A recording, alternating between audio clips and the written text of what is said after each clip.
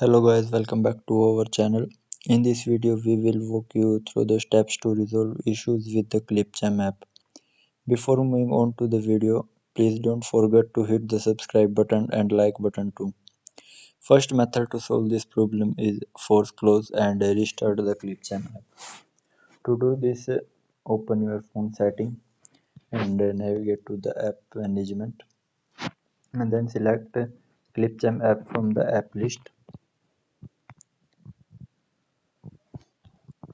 Find the option of force close in the bottom right corner of your phone.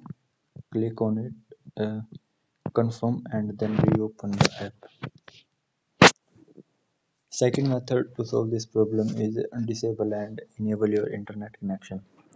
Access your device control panel, turn off your mobile data or Wi-Fi, wait for 5 to 10 seconds and then uh, turn it back on. Alternative uh, toggle airplane mode on and uh, off for a few seconds before reopening the app. Third method to solve this problem is uh, update the Clipchamp app to the latest version. Open the Google Play Store and search for the Clipchamp app. Uh, select the Clipchamp app. If you find the option of update then click on it. And once updated relaunch the app. Fourth method to solve this problem is a clear clipchamp app caches to do this open your phone settings and navigate to app management.